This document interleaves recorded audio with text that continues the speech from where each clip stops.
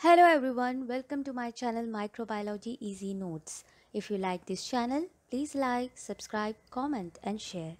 Today's topic is autoclave. In this topic, we will learn discovery of autoclave, principle, procedure, parts of autoclave, its types, uses, precautions during the autoclaving and advantages of autoclave. So let's begin. Before talking about autoclave, first understand what is sterilization. Sterilization is a process which kills all forms of microbes, whether it's a vegetative cell, spore cell or dormant cell. Sterilization process makes sure there is no contamination. After sterilization, survival chances of an organism or a cell is 1 in million. The process helps to sterilize various tools, devices, and equipment used in medical laboratories and research centers. And the most effective way of sterilization in laboratories is use of autoclave. What is autoclave? Autoclave is a device that helps to achieve almost 100% sterilization using steam. It is able to kill any biological form of microbes that present on objects. It clears all sorts of contamination which can spoil the experiment, test or cause health hazard. Origin of word autoclave because it describes a device that automatically locks shut when the pressure rises to avoid steam spraying out if you open it by accident. The word is French and comes from the Greek word auto for automatic and the Latin word claves for key. Discovery of autoclave Since the ancient times, scientists are using boiling water to sterilize materials. In written text, it is found out that Hippocrates poured boiling water onto surgical instruments to clean them. Lazzaro Spallanzani, an Italian biologist, discovered that it took 30 minutes to kill bacteria by heating them in a sealed glass flask.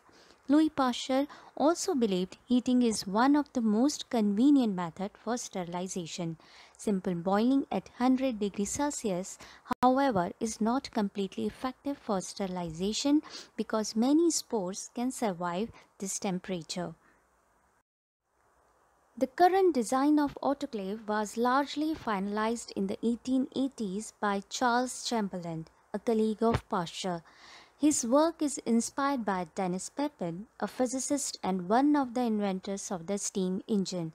However, this was used solely for culinary purposes until Chamberland's work. In this picture, you can see the steam engine designed by Denis Papin. The first commercial steam sterilization system intended for use on medical products was developed in 1889 and this is the first autoclave designed by Charles Chamberland. Now the question is, how does autoclave work? What is the principle behind it? The basic principle behind autoclave is the use of steam under pressure. Generally, water boils at 100 degrees Celsius. This temperature can kill only vegetative cells of microbes. Spores cannot be killed on this temperature but above standard pressure, same water boils at 121 degrees Celsius.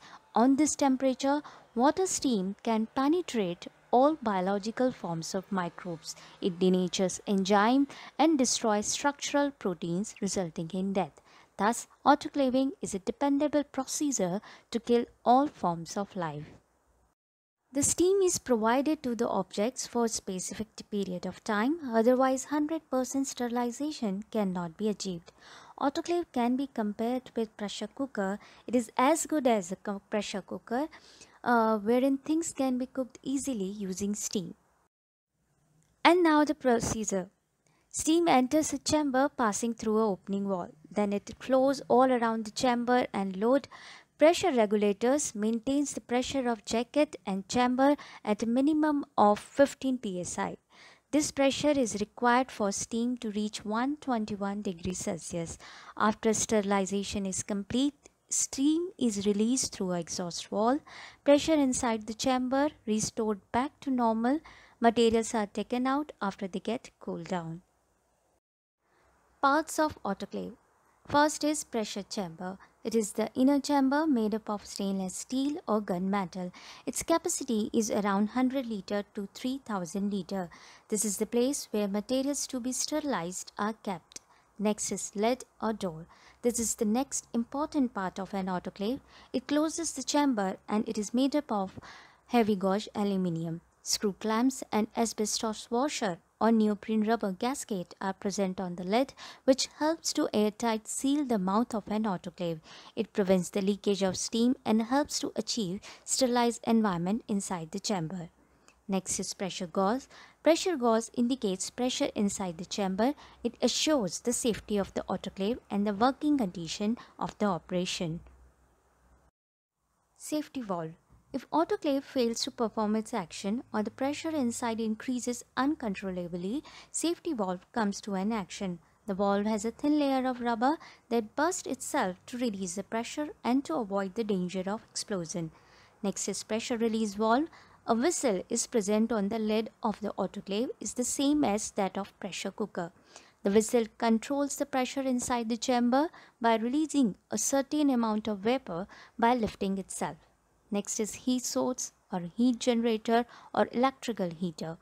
Either the electrical heater or gas heater is there underneath to provide heat. In modern autoclave, inbuilt electric heat generator is present and it is always submerged in the water. Types of autoclave. There are two types of autoclave. First is gravity displacement autoclave and the next is vacuum autoclave or pre-vacuum autoclave. Gravity displacement autoclave. This is the most common type of autoclave. In this type, steam is pumped into the chamber which displaces the ambient air and forces it out of exhaust valves so that the remaining steam can sterilize the contents. This is the most common type of autoclave as I said earlier which is used to sterilize laboratory media, surgical instrument and lab utensils, borosilicate glassware, medical and biohazardous waste that contains bacteria, viruses and other microbes. Vacuum autoclave or pre-vacuum autoclave. In this type, vacuum pump remove all the air present in the chamber and generated steam then fill the chamber. Vacuum autoclave is much more efficient than the gravity displacement autoclave as it allows steam to penetrate and sterilize hard reach areas that would normally be occupied by ambient air. This autoclave used to sterilize laboratory clothing, animal cages, beddings, packed surgical items, dry items that can trap air, high density polyethylene products such as syringes. On the basis of structure, there are different types of autoclave.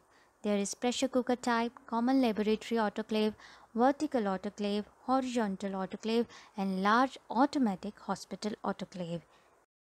And this is how the modern digital autoclave look like. Precaution during autoclaving paper, water-resistant materials like oil and powder, flammable, toxic, bleach, highly reactive and radioactive materials should not be autoclaved.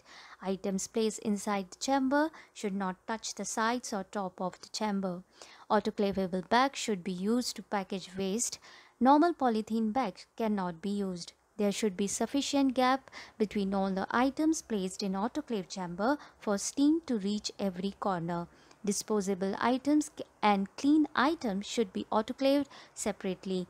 Liquid items should not be autoclaved in sealed and tight containers. Container lid should be slightly loose and should be filled two-thirds.